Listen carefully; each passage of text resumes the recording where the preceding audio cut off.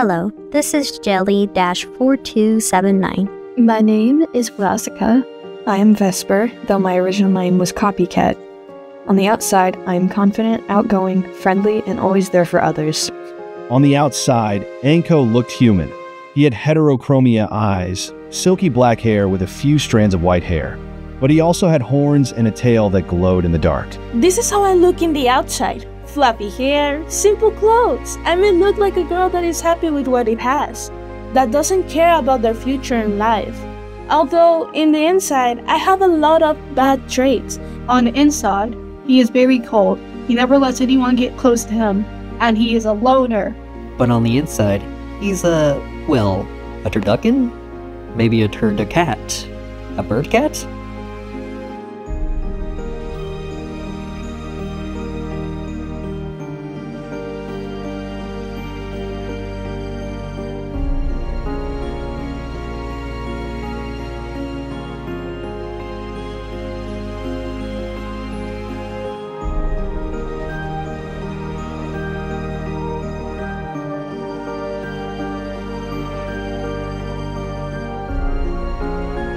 What I want most is to reunite with my twin and find my biological family.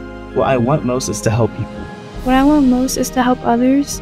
What stops me from getting what I want is not fitting into societal norms. What stops me from getting what I want is my distrust in others.